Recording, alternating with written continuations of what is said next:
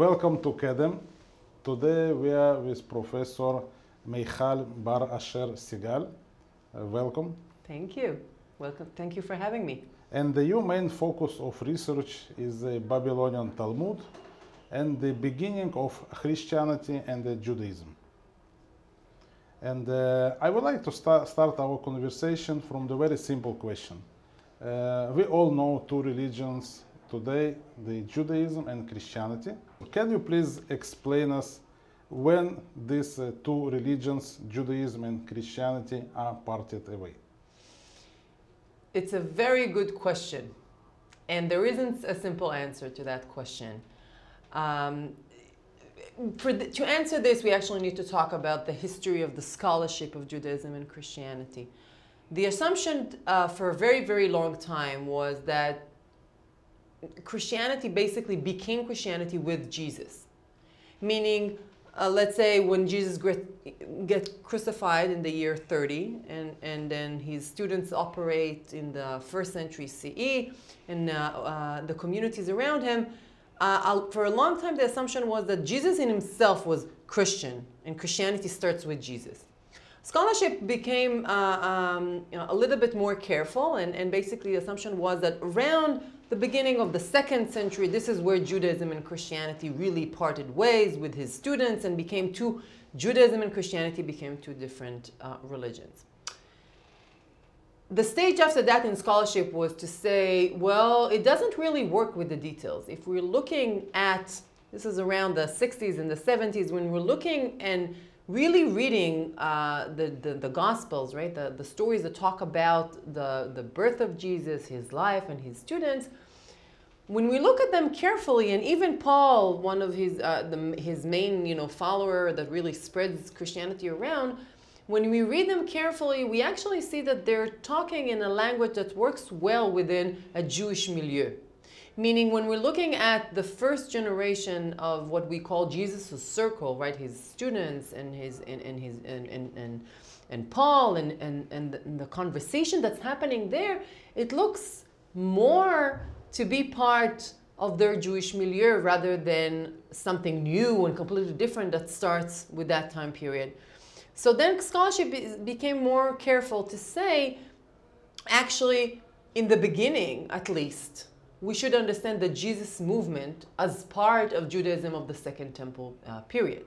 That was a very important step in, in, in the scholarship to say, as opposed to understanding Christianity as the new religion right from the beginning, as something that comes in the Greco-Roman atmosphere and part of this world, going back and looking at what we call Jewish Jesus or Paul within Judaism, and right, and look at the milieu that they do, and then obviously Judaism and Christianity doesn't split there because Jesus and his followers and the followers of Jesus is just one sort within many ways to be Jewish in the second century CE. And that's interesting, right? So you, we, we look at it and we say, we know how it ends. We know that it ends in a special thing called Christianity, but it starts as being part of what we call Second Temple Judaisms, right? The different groups and the different ways to be uh, uh, Jewish at that time period. Now, what's interesting to talk is about the question, right? You asked me when did those two religions parted? And this leads to a term that we need to talk when we talk about Judaism and Christianity, which is the parting of the ways, right? So the question that scholarship kept asking, and this is what we just discussed, is when did they part? Right? So I said some people thought that this was at the time of Jesus. Later scholarship became more you know, nuanced and said, no, it happened in the second century CE. And then scholarship came and said, no, no, actually, in fact, it was much later. It was, I don't know, third, fourth century. This is when the parting of the ways actually happened. And in fact, in the beginning, it was much more closer. But then scholarship tended to stop and said, and, and kind of looked at it and said, maybe there is a problem with our question. Because the question of the parting of the ways kind of assumes right? The metaphor of the parting of the ways assumed that there was a way, one way. And then at some point, there is a moment in time when those two, this one way becomes two definite and distinct ways, which assumes that there was first such a moment that we can point at and say that was the moment. And second, that from then on, there were two distinct ways right? So we have this like picture, as you can see in the in the image, of a way, and then two ways that separates from it, right? Something like that, a crossword that you can actually imagine. But is that picture actually work with the history of what we know of Second Temple Judaism? So let's start with that, right? So the, this one way from which we start with, what way was that?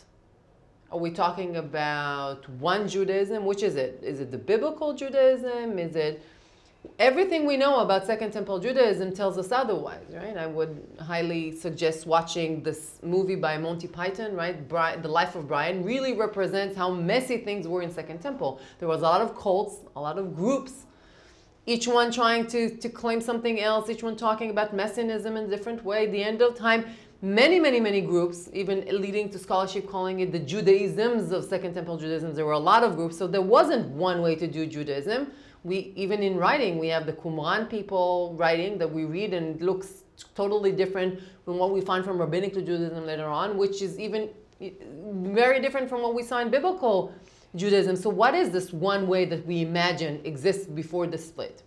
And then when we're talking about this metaphor of parting, so there was a moment in history when it parted, I don't know, the, destruction of the temple, the death of Jesus, the, the, the Bar Kokhba revolt, that moment of what people talk about, everything in the sources that we see, and I think we'll talk about this in the next uh, hour, actually suggests something much more complex and in, in, in, a, in, a, in a continuum, right? In a, in a process that takes time over time in which there wasn't such one such moment, but in fact a long process where we see in some but cases which eventually led to two established religions which we have now.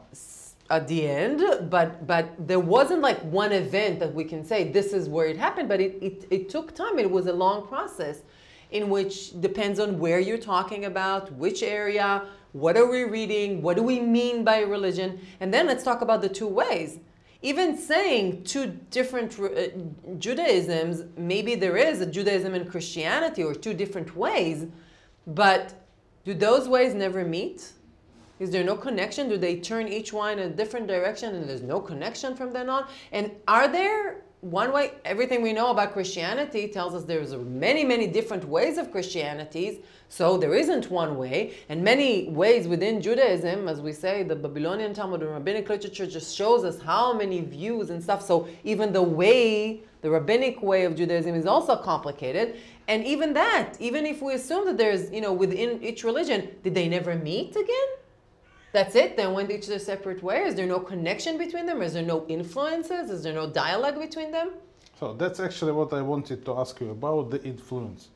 So if you go to the beginning and end of the second uh, temple period and uh, before, long before the Christianity prevailed and became the dominant religion in the world and when Judaism had to, you know, treat itself as uh, inferior compared to Christianity success. But before that, how went this influence? Who actually influenced uh, uh, more? And uh, how this uh, coexistence in the beginning actually took place? This is this is a good question because I know we're talking about metaphors today a lot, but one more metaphor. When we talk about influence and stuff, the question to ask, which is, is a way, by the way, a word that we don't like to use in scholarship, because influence uh, indicate that one religion was the dominant and the important one, and one was the inferior who got influence. So we don't like that word so much because it kind of suggests a, a power struggle between them. But, and that actually is reflected in one metaphor. So when people talk about Judaism and Christianity, they used to talk about the mother religion and the daughter religion, right? So there was a mother, which is Judaism, and from which Christianity arose. Now, developed. The problem with this metaphor is that first the daughter is like the more developed, right? Because it came after. And also it suggests that Judaism came before Christianity, which is true, but the Judaism that came before Christianity is biblical Judaism. It's not rabbinic Judaism. Yeah, it's actually an Israeli cult. cult Exa- Israeli yeah, and so when we're talking about the relationship between Judaism and Christianity, we actually mean rabbinic Judaism. And rabbinic Judaism, the first book that we have is the Mishnah, which was redacted at the end of the second century and the beginning of the third century CE. So, in fact, we have early Christian sources that are earlier than that. So scholarship began to talk about the metaphor of the two siblings, right? The, so the, we should the, understand, maybe we do not recognize it, that the Gospels actually are written before the first rabbinic. The rabbinic text we have. So obviously we have oral tradition and then the, the, the rabbinic tradition maybe happened, but it's around the same time. And so this is when scholarship starts talking about siblings, right? The sister religions, right? So it's developing side by side, in fact, at the same time. So it's not a mother-daughter. There isn't like a, a tree and its roots, right? This is we see that in church fathers. So the, the, in, in, in, the church, when they talk about the roots of Christianity in Judaism, but in fact the tree that becomes Christianity. Again, always this power struggle. You know, we owe some death to Judaism, but we develop to be better. This is a, um, a, a supersessionism talk, right? Who, who's better than the other? Uh, but when we're talking about two religions side by side and developing side by side, uh, I think it represents better the relationship between those two religions. Now, so who influenced who, right? That's the question. So again, if we're talking about two religions living side by side, the most important thing we need to know is that the Bible, uh, what we call the Hebrew Bible, or the, the some Christian call it the Old Testament, stands at the root of those two religions. They go back and forth and, and addressing it, and, and, and they interpret it, some verses the same way, some verses differently, and they talk about it. But we also have the cult around it, right? The praxis and the cult and beliefs that those two religions share or not share and discuss. Messiah, charity, repentance, all kinds of stuff. Practice. How, what do you do? Do you, do you keep kashrut for food? Do you circumcise your son? Do you so all kinds of questions that are not always have to do with the Bible and has a lot to do with theology and, and, and praxis and all kinds of stuff that are also being debated at the same time into religion. And if we look at that in the complex picture, which is now where scholarship is, to look at the details of that picture, we see, and that's the end result, and that's the, the answer to your question. What was the relationship with those two religions? The answer is it was complicated. Because human beings are complicated, and religions are complicated, and cultures are complicated, and they had a complicated relationship. So we can see polemics. They're fighting furiously. We see anti Jewish writings by Christians. Early on in the second century, beginning of the second century, where Christians say, oh, those Jews, with their superstitions and they believe in the following the, the lunar calendar and all kinds of stuff with fasting and what's the stupid stuff and but on the other hand we can see as late as the fifth century we can see uh, where uh, we have laws that say uh, for to Christian, stop eating the matzah that the Jews sent to you on uh, on on Passover. Or we see evidence of, of, of, of uh, Christian being circumcised. Or in the 4th century CE, we see Chrysostomus, a church father, yelling at his uh, church followers and saying him, stop fasting on Yom Kippur. Stop going to the synagogue for, for the festival of the, of, the, of the trumpets, right? This is Rosh Hashanah. Stop going and sitting with their, in, in their booths, Sukkot. Stop doing all this stuff. So all of a sudden we see as late as that evidence of actual context between them. And we were looking at the rabbinic sources, which is what I do. This is my profession. I look at the rabbinic literature and I see there, this is all new, this is all new scholarship, but we see all of a sudden that the Jews polemicize about Christianity. They say Jesus burned in hell. He's, he's sitting in boiling excrement. The Talmud says that Jesus sits in hot poop. And it says that uh, Jesus was you know, killed and, and, and talk about all, all the sins of Jesus. But on the other hand, it has and adopts a lot of Christian monastic ideas about repentance. And it talks about uh, um, question of charity and prayer in ways that are very similar to Christians and with ideas that they borrow and think together from the Christians. So, and even if they're polemicizing, we talked about heretic stories, stories about heretics in the Talmud, Christian heretics.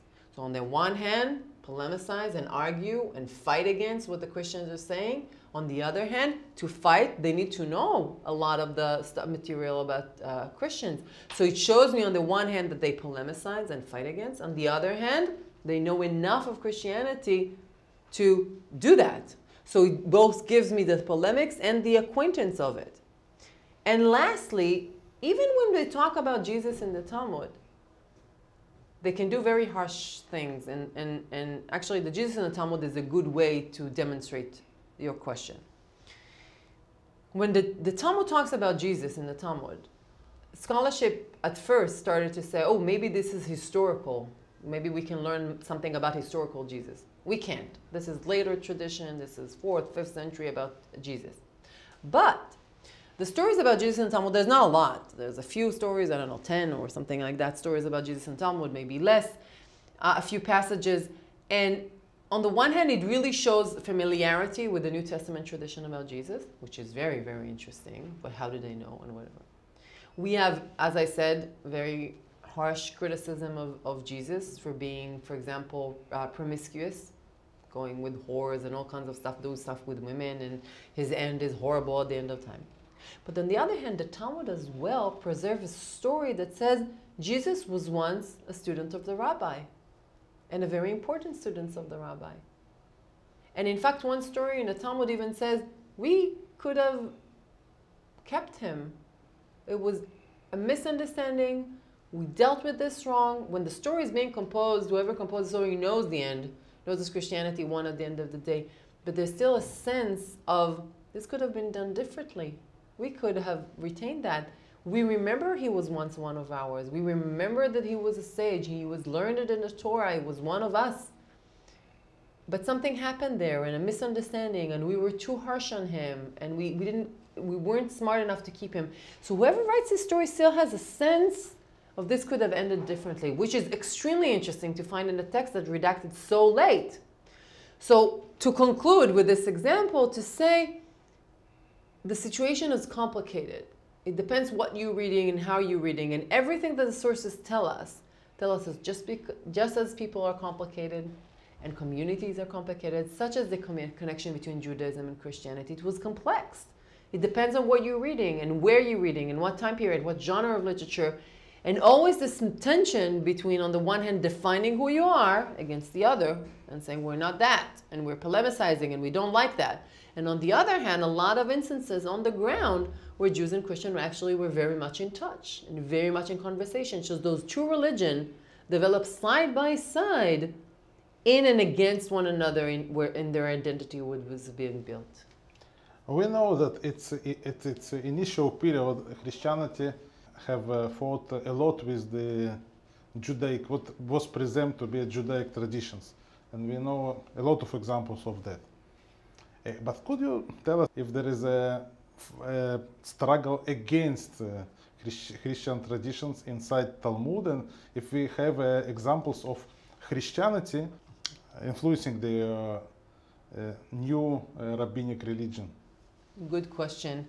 so the question, the answer to that is that we have to make a difference between early rabbinic literature and later, right? The Tannaitic one, which is the first and second century CE, and the one that comes later on in the Amoraic period, so third, fourth, fifth century, maybe later than that. And then, so the difference is in the first corpus, the Mishnah and the Tosefta, we have very, very little reference to Christianity, which is interesting because Christianity was already around, but it doesn't seem to have bothered the rabbis so much or at least the redacted are it. Maybe it has to do something with the nature of the sources from that time period, which are very low, fo low focus rather than uh, um, otherwise. So very focused on halacha and, and, and, Jewish law, and but we don't have a lot of evidence. There's a very famous uh, passage in the Tosefta that talks about Jesus and, and Jesus followers, but but very very very little which led some scholars to say Christianity just didn't matter to the rabbis at this point. When does it start being interesting? I'm not sure that it's completely true, but at least that's what we have. When does it get interesting? It gets interesting in the later period. And I think it has to do with chronology. When Christianity becomes, beginning of the 4th century, Constantine first makes Christianity legal and then um, um, converts basically the empire into a Roman, uh, to a Christian empire. So um, at this point, I think you can't ignore Christianity anymore, right? They won big time. This is, this is the big winner of the ancient world. And this is where we start getting references to Christianity. Not overt one that refer to Jesus and to Christianity in general. They're not that many. And so this is when scholarship tended to say, no, Christians and Jews had not, not a lot to do with each other, didn't bother them too much. What we have discovered, and I think my research is part of it in recent years, that the reason we said that is because we didn't know what we were looking for. We didn't understand how rabbinic literature works. And in fact, rabbinic literature does have, and I deal with the Babylonian Talmud, but other sources as well, does have references to Christianity. But we know, you need to know what you, where to look for. The references to Christianity are satirical. They're funny. They're they're hidden. They're they're you know suggested. There's allusion to Christianity. For example, those you know heretic stories. A lot of them don't mention Christianity at all, and and you just have to like you know understand what's happening. Some of the sources that have to do with monastic, the Christian of monks, don't mention Christianity at all. So he does refer to Christianity, but not openly. So if you know that and you find Christianity, then it becomes really interesting. But uh, why it was done this way that oh. it's hidden? Because they were afraid. Good question, but no one knows the answer to that. Wow. This is this is really debatable question. Why is that? Why are they doing it this way? So some scholars suggest yes that they were scared to do it. Some scholars say that this was a, um, a genre of literature which attracts more people. We don't know. That's what the answer is. But first, let's say that we haven't even begun to explore this process. We're just beginning to look at those sources and look at it. We haven't done enough of the work to actually answer that. I don't, I don't know if we'll have an answer. But once we do that, and then we understand what they're doing with Christianity, then we understand that yes, Judaism was bothered by Christianity, was bothered by Christian beliefs, Christian biblical interpretation, Christian attitudes towards certain, uh, certain topics in theology and biblical interpretation and praxis. And the, the rabbis are worried about this and they so are engaging. In fact, in they were challenged by the Christian theology. We might say this totally. openly. Yes. We just have to know where to look and how to look for it. And this we've only now begun to do. Because we didn't know how to what to look for in the sources, we didn't know. So we just assumed they didn't that much. Now that we know, there's so much more to look for, and we're just beginning to do that. I'm sure if you'll interview me in a few years, I'll have a different answer for you because I'll know much more. And this is, has to be a promise that you interview me again. But I'm saying for now, so record it. Record it on tape. for now, the the the amount of material we have about Jewish Christian interaction is is we have some sources, but not enough. We're just beginning to look for it. And, and we're, we're going to do the work and we're going to find more. And I'm sure we do because we keep finding more and more and more because now we know what we look for. And then it becomes interesting because the question is if they're threatened by it, if they're challenged by it, then it also means that they're building their identity in and against this building Christianity. So not just from the Christian side, but also from the Jewish side. Could you maybe elaborate more on this uh, using concrete examples from the texts, from the Talmud? Okay, so we talked a little bit about Jesus stories, right? So Jesus stories are very important, and also because they're um, open about this, right? So you, you see the word Jesus, there's no confusion as to what are we talking about. It's anti-Christian, it's anti-Jewish, it's about Christianity, it's about Jesus. So not anti-Jew, sorry, anti, anti-Christian, right? So anti-Jesus. We see that and we can actually uh, talk about what they say about Christianity very openly. A lot of the stories I'm talking about doesn't have the word Christianity on it, so it's harder to find. So let's start with overt, right? Christian references. So we talked a little bit about Jesus tradition, but let's talk about the name of Jesus, for example, right? So Jesus is called Jesus ben Pantira in the early sources. Later in the Talmud becomes Jesus the Nazareans, Yoshua Notzri. But when we talk about Jesus ben Pantira, the, the, the rabbinic sources, uh, the Tosefta and stuff, doesn't explain why he's called this way. The son of Pantira, what is that? And this is where it gets really, really cool. Origen, which is a church father in the beginning of the third century, quotes a pagan guy who writes in the second century called Celsus.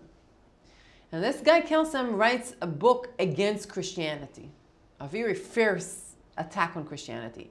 And while he's doing that, he uses a Jew. He quotes a lot of stuff that the Jews say. So we have Celsus's Jew.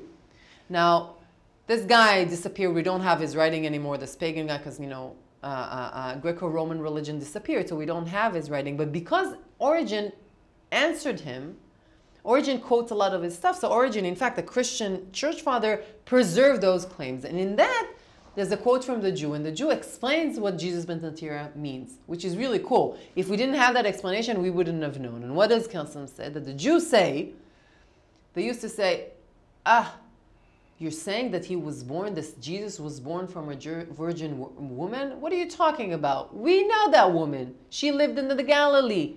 And she had a son while she was engaged or married to this Joseph guy. She had a son outside of the marriage with this guy, with a Roman soldier named Pantira. Okay, so all of a sudden we understand why the rabbis are calling Jesus son of Pantira. They're basically saying, we know who you are. You're a son of a Roman soldier your mother had sex with. So they're calling him a bastard, right? They're calling him an illegitimate child. Now, we didn't know that if we didn't have that outside story explaining what it means, but this is how the rabbis call him. So they make fun of Jesus by, by calling him that, which is extremely cool, right? This is, this is, this is interesting. By the way, uh, one scholar uh, figured out, suggested in the 19th century, that it's interesting that the Roman soldier is called Pantherus of all names. Panthera is pan panther, right? The, the, an animal. But Panthera also sounds very, very close to the word Parthenos. So Pantheros, panther, sound a lot like Parthenos. Now Parthenos means a virgin. So a scholar suggested that the Jews were making fun of the son of the virgin, the son of the Parthenos, and instead called him the son of a Pantheros, right? You say he's the son of a virgin, we say he's the son of a Roman soldier, right? So they're making fun of his name by using a, a word that's very close. So that, that that's that. So this is a good example to show of a case where they're making fun of Jesus by calling him by name, but again, it never explained. You're supposed to know what it means, and we didn't, you have Celsus, we wouldn't know. So again, they're making fun and you have to know the background to it. If we jump to other sources that don't mention Christianity explicitly, but actually talk about um, Christianity in a veiled way, that you need to know what it means, uh, I'll give an example for something that's polemic, something that they fight with Christianity, it's something that they are uh, um, actually borrowing from Christianity. I can give an example that really shows also the side of, of the dialogue that's not polemic. So for example, in my book, in one of my books, I show, I take the example of Rabbi Shimon Bar Yochai in his cave. This is a very, Rabbi Shimon Bar Yochai is a very uh, important figure in the later reception of Jewish history because he becomes the hero of the Zohar, which is, you know, the book of the Kabbalah, the Kabbalah movement that becomes really, really important worldwide. And Rabbi Shimon Bar Yochai is the hero, the literary hero of this book. And so the story about Rabbi Shimon Bar Yochai in his cave is based on uh, a story that's found in the Babylonian Talmud. And this is a story about him staying in a cave because he runs away from the Romans. And he's, um, he's fed by a miraculous tree and miraculous fountain. And he uh, sits all day in, in, in prayer and study of the Torah. Um, and it's a really, really weird story in the rabbinic landscape because rabbis don't go into cave and they don't study in cave. And it's like the one story that we have. And what I showed in my book is that this book, this story has remarkable parallels to the most important literature of late antiquity of that time period, which is the literature of the monks. And we have entire stories about monks going into cave, living off miraculous trees and miraculous water. And I really show how the story about Rabbi Shimon Bar is in fact an echo, a dialogue of a story uh, of stories about holy men, Christian holy men living in caves at the same time. And the rabbis basically create a figure that speaks like them, does like them, and, and, and this. Now, Rabbi Shimon Bar Yochai is totally kosher. He studied Torah. He becomes later on the, the hero of the Zohar because the story has nothing to do with Christianity. Christianity is not mentioned. But what I try to show is that basically whoever writes the story uses literary tropes from Christian literature to think about issues that stand at the heart of both religion, which is asceticism. Do you have to suffer to be a good scholar? Yes or no? Uh, how does one what's the best way to spend your time in study, in prayer, in working the land? Yes or no, right? Uh, uh, um, ora et labora, uh, Torah va'avodah, the study versus work, right? So how do you navigate the two? So to questions like that, and the way to discuss it, they do it by incorporating literary tropes or monastic literature. So this is an example where a story in the Talmud, which becomes a very famous story, is in fact a literary dialogue with Christian literature of the time which was extremely popular and all over the place, and whoever writes the story knows that and uses that. So these are examples, and there's, more examples such as this, where Christian literature and thinking about Christian tropes really influence and really comes in conversation with whatever is it's found in the Babylonian Talmud. So that's that's example of that, alongside examples of polemics and, and arguing with and, and fighting with. What the past, the relations between these uh, two religions can actually teach us about our present time?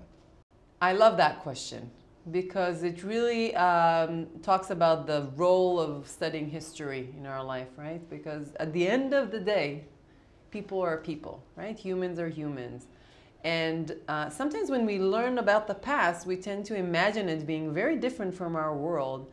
And when it comes to, you know, context between religion, for some reason, a lot of the time scholarship tend to think about religion separately, as if each religion developed on its own. And people never work this way. They don't work like this today, and they never worked like this in the past. People live side by side, and we see that in archaeology. You walk in the street in Sepphoris, and you see a church next to a synagogue in the ancient world, and people lived side by side, and they were in contact with one another, and religion and, and community come in contact with each other and they influence each other, they talk with each other, they uh, uh, polemicize and they build a relationship from one another next to another. And this was the case in the ancient world, and we have to understand that when we're looking back. And that's the case in the world we live in today. And so uh, when we look at the past and we say, always people lived side by side and had conversation when we're talking about the religious history of the past, it's the same thing that happens today. And again, humans are complicated, religions are complicated, and it's never as simple as that. And the, the attempt to create religion as being something separate, pure on its own, was never the case in the past, and it's never the case here today. And, and, the, and the attempt to create those boundaries uh, actually misses or, or mistakenly present religion as they were. Each religion was created in its time and context, in the past and in the present. Another thing that we can learn from that is that my own work that talk about the Babylonian Talmud and the way its relation its relationship with Christians of the past teaches me that a lot of the tradition we know from the Talmud that made an impact on religious history was in fact created in conversation with Christian culture and beliefs and, and thoughts and a lot of the stuff we do today and things we believe actually comes from that world. And it makes me, you know, we talked about uh, Rabbi Shimon Bar Yochai in his cave and the relationship of the, uh, you know, the, the historical development and how it came to be in connection with Christianity. Rabbi Shimon Bar Yochai Cave is a place where a lot of Jews come and, and, and you know visit and once a year and, and, and see it. It's a, it's, a, it's a pilgrimage site. Everyone comes to see it it always makes me very happy to, happy to know that in the past this was you know influenced and, and directed because Christian did that with holy men and they they were the people so it makes me happy to think that that people you know uh, um, were influenced and in dialogue with other religion and until today this has an impact that starts with a conversation between religions so when we live in a world where tolerance is going uh, uh, less and less towards other religions, and there's fighting over religion, and there's uh, uh um, animosity and, and anti-Semitism and anti-other religion and, and, and racism, um, and this attempt to say to define each religion and each group on its own was never the case. Always conversation between religion. No religion developed separately and purely as its own thing. Every religion can come with it. It's true that they defined what they are and they made themselves special and they made themselves, um, you know, they made something of themselves in relation to the others. But in relation to the others, right, it was always in conversation and always connected. So I think it sends a message that people are complicated. They were always complicated. Rel, you know, relig, religion and religious societies, um, you know, they, they are built alongside and side by side other religion. And that's important to remember in the world that tries to be very um, simplistic and very crude. It was never the case, not in the past and not in the present. And it should really lead us to more um, tolerance and more, um, you know, understanding of the other and, uh, and the complicated relationship uh, that always exists between Judaism and Christianity Yeah, and so other religions. We, we always had to know how to coexist, and probably we will keep that in the future. as well. Professor Michal Bar-Asher Siegal, thank you very much. Thank you for having me. It was a pleasure.